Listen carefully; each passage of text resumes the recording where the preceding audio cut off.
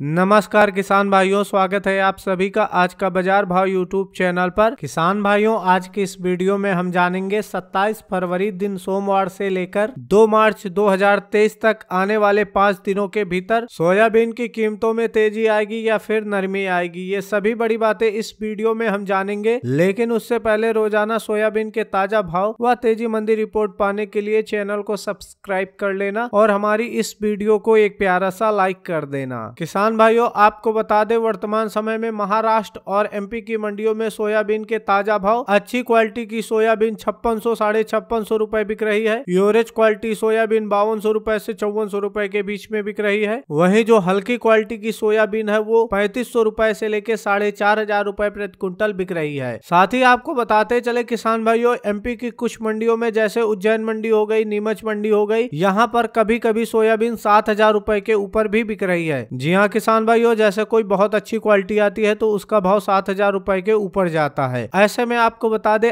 आने वाले पांच दिनों के भीतर जिस प्रकार से अंतरराष्ट्रीय बाजारें चल रही हैं ऐसे में कोई विशेष तेजी की उम्मीद नहीं है लेकिन आप सभी को सौ दो सौ रूपये का इस हफ्ते सुधार देखने को मिलेगा